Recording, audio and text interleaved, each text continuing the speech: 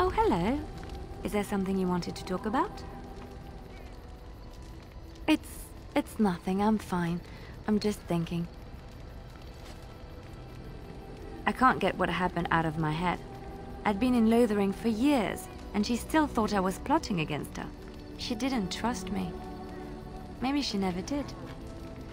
She loved me when she could use me and control me. And now that she can't, she wants me dead. It... Hurts to realize that I never really knew her. I knew she was ruthless, but I didn't know how far she could go. She is self-serving, cruel. She uses people, then discards them. But that's how she survives in the life she leads. What... What if she's right? What if we're the same? I... I should just have stayed in the Chantry. I could have been wrong about the Maker. I... I know you doubt me sometimes. Maybe you're right. Maybe. Maybe I just tell myself he's there to console myself, to know there's someone watching out for me, to know I'm not alone.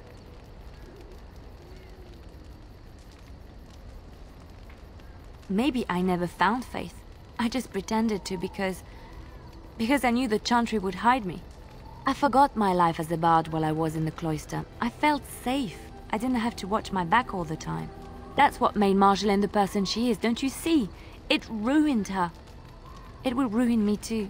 Even now, I feel some regret at not ending her life in order to protect my own.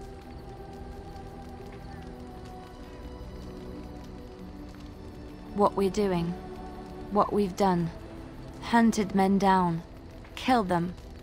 Part of me loves it. It invigorates me, and this scares me. I... I feel myself slipping.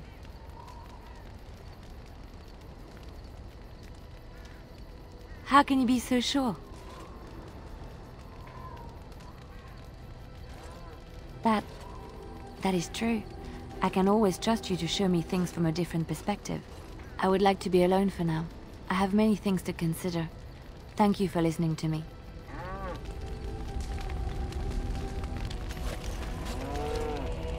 There you are. I was thinking, we've been through a lot together now. We're like old war buddies. So I figured why not invite you to share a drink, huh? A drink from my own stash, my family's recipe, and dedicated to my comrades in arms. yes! The Warden steps up!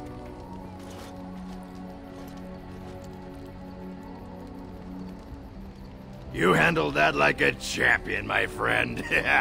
Most impressive. How do you feel? Oh no, the rest is for me. You'd need to do something really unspeakable to get into the rest of my stash. I, uh, I just wanted to tell you, after all we've been through, you're like family to me. Closest thing I've had in years. Oh, Warden. I do believe I'm getting all misty-eyed. But that could be because those beans are getting chatty, if you know what I mean. uh, so, do you want to talk about something? What about?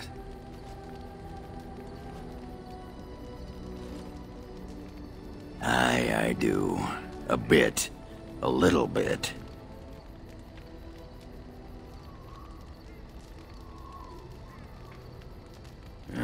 Was there, I thought it was a muckhole full of backstabbing, tin-plated would-be tyrants. But it's also home. Flies live in piles of dung, but I bet they'd miss it when they're gone. Still, I can't go back even if I wanted to. I'd rather be dead than be casteless in Orzammar. I guess I'd rather be a useless lump of a dwarf out here than a useless lump of a dwarf back there. Nice of you, Warden, but I know what side of the house the loo is on. Hey, let's go find something to kill, huh? All this talk makes my hands twitchy.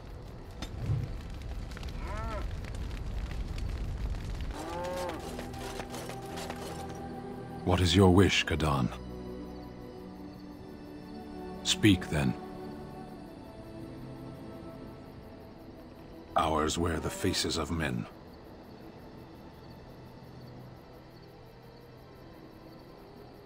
Darkspawn, abominations, plagues, and storms. Men are far more dangerous than these. One moment of betrayal can bring more ruin than an earthquake. You know this.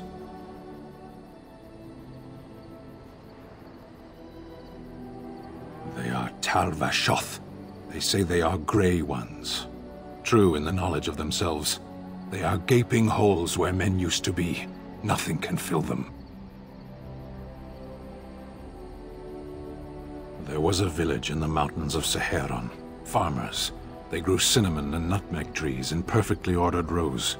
There would always be one person waiting, a foreman, a harvester, rank didn't matter. Often they would say nothing. Simply watch as we worked to examine the empty house, a new one each time, that had once been the home of a colleague, a friend. We always made a point of searching. Now and then a body would turn up in a river eaten by rain and crows.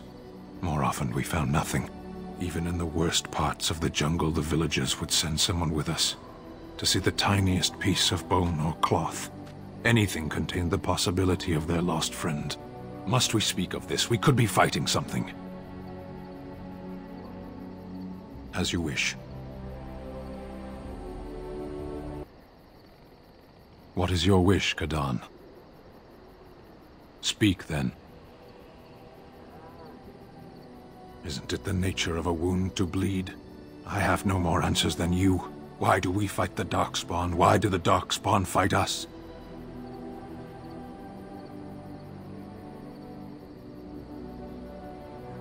Now and then.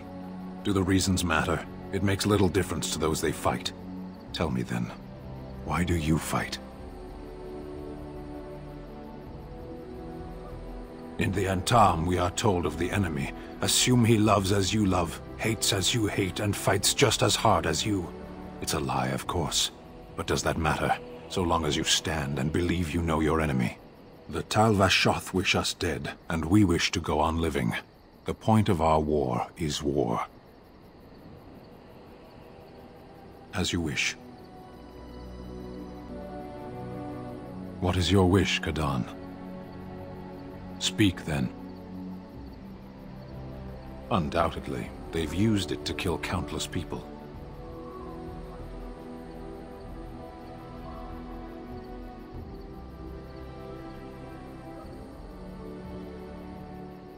No, but they don't care what I think.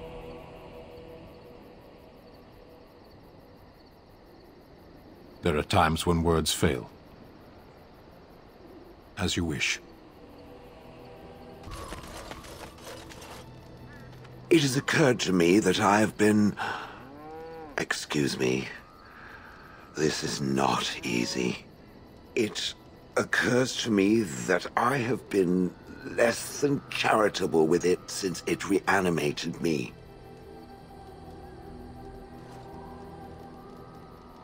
I have come to realize that it has been good to me.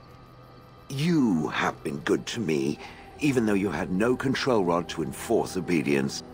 I have never had one before, so I, I don't know how to thank you for being, you know... Exactly so. I followed you expecting to find answers to my questions, but I think I have found something better.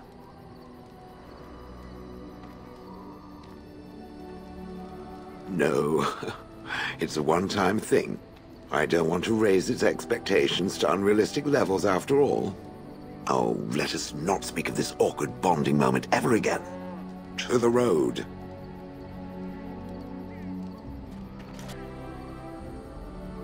I am listening. It doesn't have better things to do. I did not think it needed to be said. It has never told me what gender it is, has it? And if it was, perhaps its gender would have been more obvious. The truth is that whatever gender I was is irrelevant now. I am a golem. I have no gender. It will not become an issue. Ah, yes. Female bonding and all that. Rah. Now, let us crush something soft and watch it fountain blood. That is a girlish thing to want to do, yes?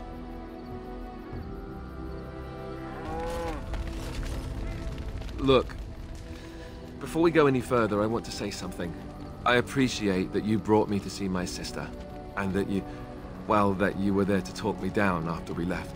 You're a true friend, and I love you. I just wanted to tell you that. that we are. I have your back. You know that, right? Well, now that that's out of the way, I... something you need, my dear.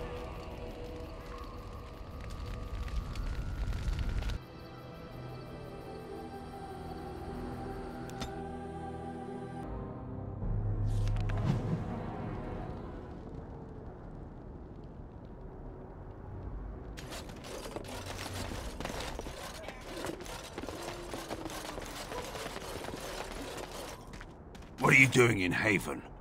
There's nothing for you here. No, you do not. I would have been informed if someone was expecting a visitor. Who? Perhaps revered Father Eirik will know of whom you speak. Unfortunately, he's ministering to the villagers at the moment and cannot be disturbed. Revered father? I've never heard of this. It's always been thus in Haven. We do not question tradition.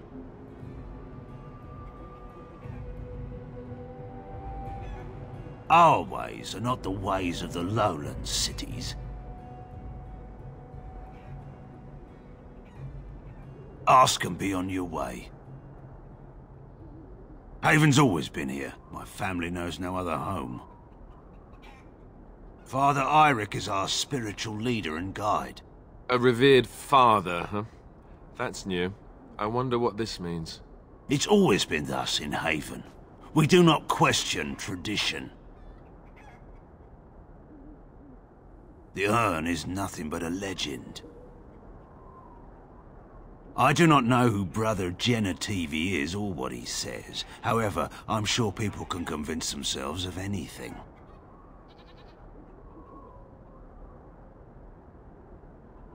No.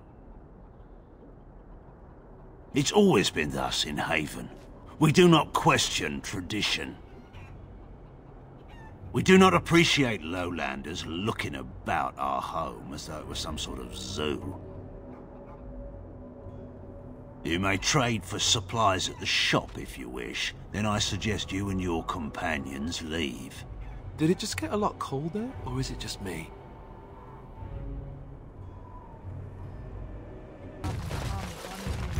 Tell us, tell us where you've been. Were you up? Were you down? Chasing rabbits round the town. Who are you? You shouldn't be here. I asked you first. Lowlanders don't belong here. What? Why are you looking at me like that? Haven is Haven. But I have a secret. Do you want to see?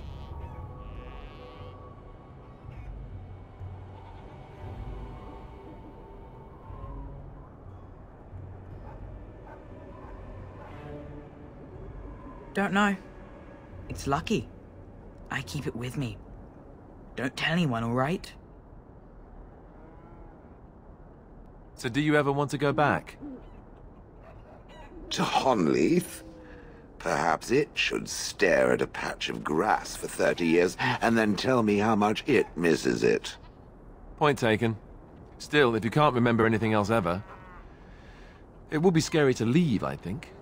Fortunately, I am not as comfortable with the mundane and familiar as some. Ooh, ow, ow. Sort of an adventurer, I see. Brave new world, that sort of thing. And instead, I should be content to remain in that village, standing still out of fear of the unknown. What life is that? I know what I am now. I know how I was made. I can move forward. It, who has had so much more, should do half as well. Um, thanks for that. I feel really good now. A pleasure. Next time we shall speak of its grammar and personal hygiene.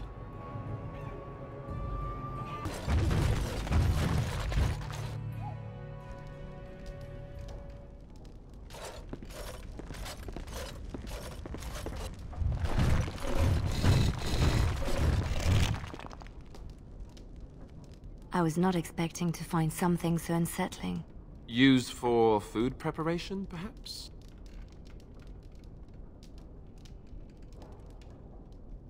I'm just trying to be optimistic. The other explanation is slightly more disturbing. Uh, we really should leave before someone sees us.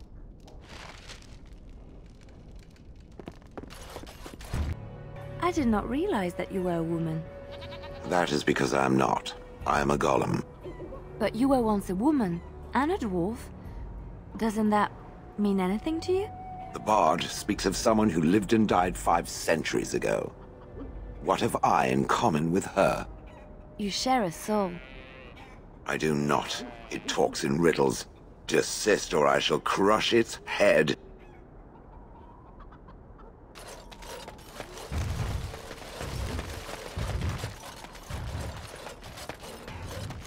I've never heard of any village out this way. Is this place even on a proper map? I don't like this. It's almost too quiet. Something's not right. I can feel it. Are there birds nearby? We should look for them and destroy them.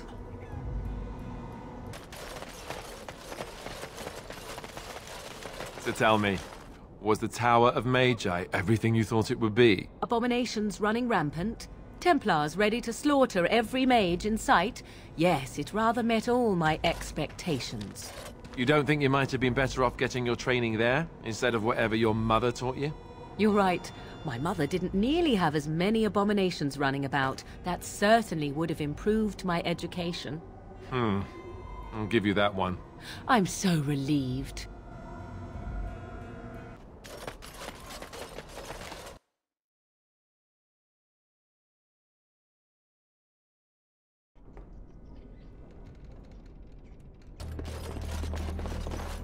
Who are you? You're not from Haven. We... we don't get very many visitors. How would you describe the place you know only as home? No, I've never heard that name. I think that is for the best.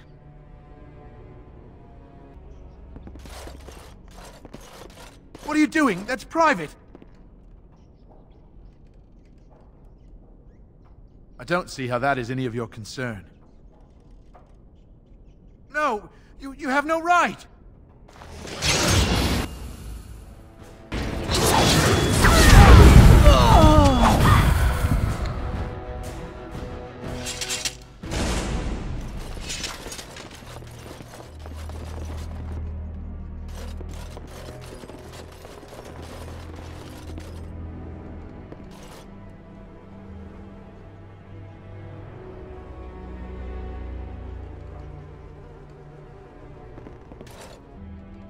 So tell me something, Morrigan. Did you live there in that forest your entire life? I left it on occasion, but I always returned. Why? Is that so strange? It was my home. But it was just you and your mother there? No one else? Mother occasionally had company. What? Company? Do I even want to ask? No, you really don't.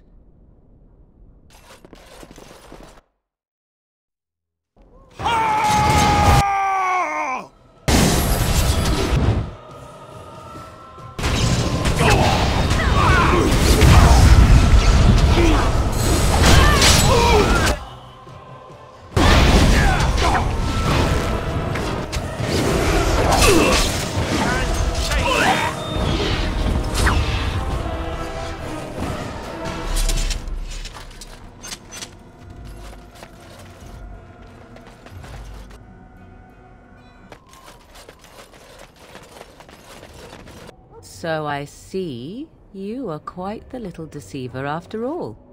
finally decided to gloat, have you?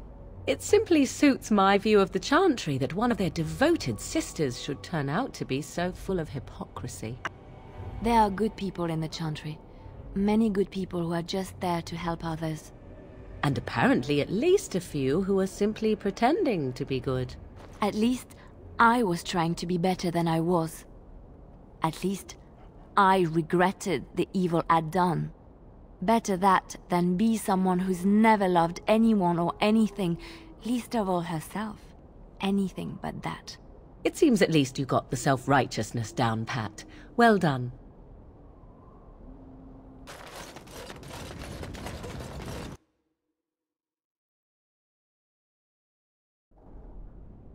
We are blessed beyond measure. We are chosen by the Holy and Beloved to be her guardians.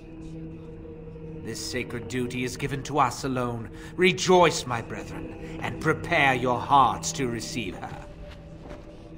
Lift up your voices and despair not, for she will raise her faithful servants to glory when her...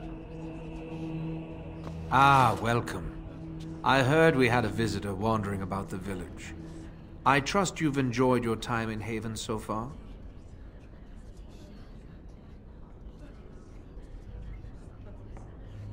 This, my brothers, is what happens when you let an outsider into the village.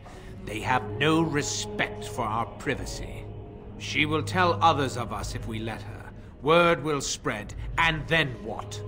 You, stranger, do not understand our ways. You would bring war to Haven in your ignorance.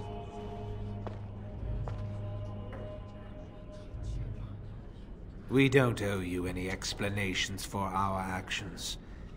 We have a sacred duty. Failure to protect her would be a greater sin. All will be forgiven. More enemies!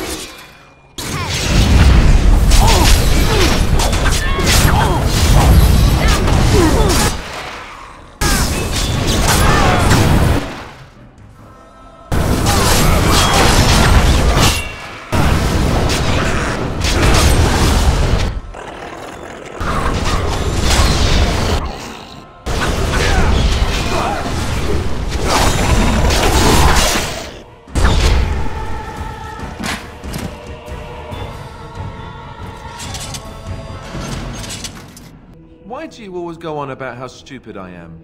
I'm not stupid, am I? If you need to ask the question, Because it hurts my manly feelings, you know. Or one of them. then I'll be sure to write you an apology once all of this is over. I was educated by the Chantry. I studied history. They don't make stupid Templars. Then I must have been mistaken. I'm very impressed. No, you're not. You're not even listening to me. My, you are smarter than you look after all. Your Chantry must have been very proud.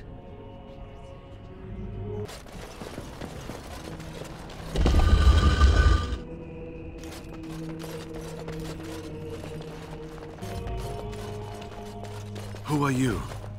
They... they've sent you to finish it. Yo, you're not one of them, thank the Maker. So it seems. They take great pains to keep it well hidden. I... I... ah, the leg's not doing so well, and I can't feel my foot. The leg is wounded, but that will heal in time. The foot may have to come off. I thought you might say that. But if the foot goes, it goes. There are more important things than an old man's feet. I don't have time to rest now. I'm so close. The urn is just up that mountain.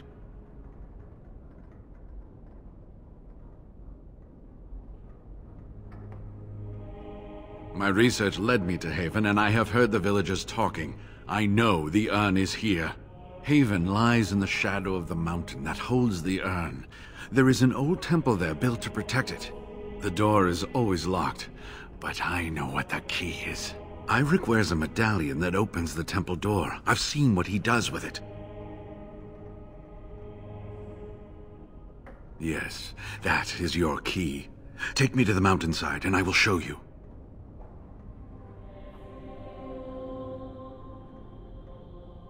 It is not that far, and will you let me lean on you?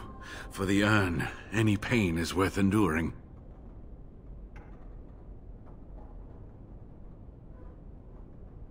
All right. What is on your mind? yes, of course. How could I forget? Eirik said they were ambushed, some killed, a few brought back to Haven to be questioned. He was so self-righteous about it, so smug. He seemed pleased that he had tortured and murdered these men.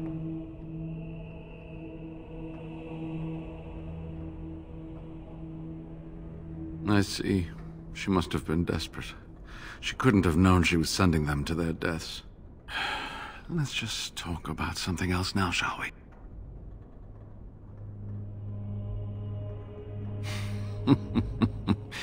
well, it wasn't exactly what I expected it to be. They call themselves the Disciples of Andraste. They are very, very devoted. One could say fanatically so.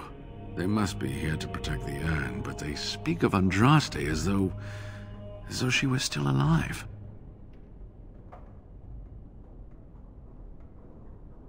I thought so at first, but I'm not so sure anymore. Was there something else you wanted to discuss? Pure luck.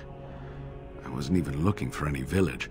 I had always assumed that the temple that housed the urn would be lost to time and abandoned. It took years of study to narrow down its location to this range of mountains. Then, completely by accident, I came across an unrelated document that mentioned a village called Haven.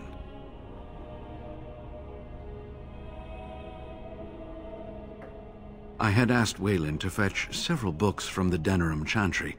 Among them was one I didn't ask for a hundred-year-old log of Chantry business transactions. In it was an account of a dwarven trader who had failed to transport goods from Orzammar that had already been paid for. There was a blizzard, and his caravan was turned off the path. They eventually came across a small human village that was not on any map. The trader tried to gain entry to take shelter from the storm, Unfortunately, they were turned away and had to take refuge in a cave. When he woke up that next morning, everyone and everything was gone. He managed to find the road again and, and made it to Denerim, but he never saw the caravan again. Not too much. It became clear from the dwarf's story that this village would be near the temple and it occurred to me that they might know something about the urn, and I decided to find the village myself. And that's how this trouble started. I was looking for answers. I thought the villagers would know something about the urn. I was right, they do. They're just not willing to share it with outsiders. When I mentioned the urn, Eirik assured me he would take me to the temple in the morning. He said a room had been prepared for me. I didn't realize it would be this charming place. They seemed intent on finding out personal information about me, where I grew up, things like that.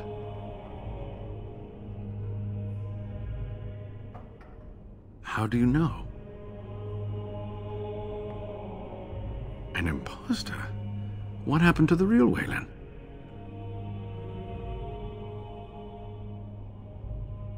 Oh, poor Weylon. I should never have dragged you into this. Maker take you into his hands, my boy.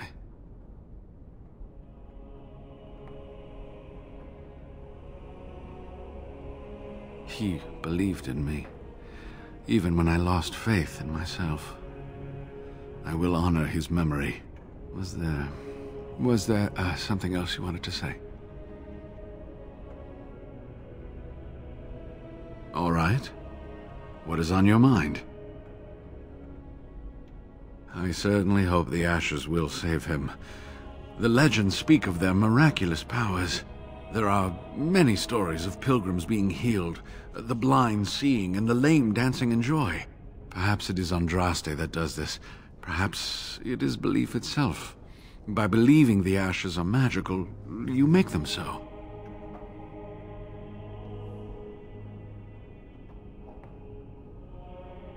Anyway, that can be discussed once we actually have the ashes, and the Arl is better.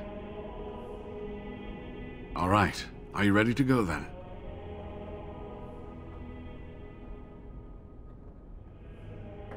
Ah, good. Help me up here. Ah, ah. I'll try not to slow us down.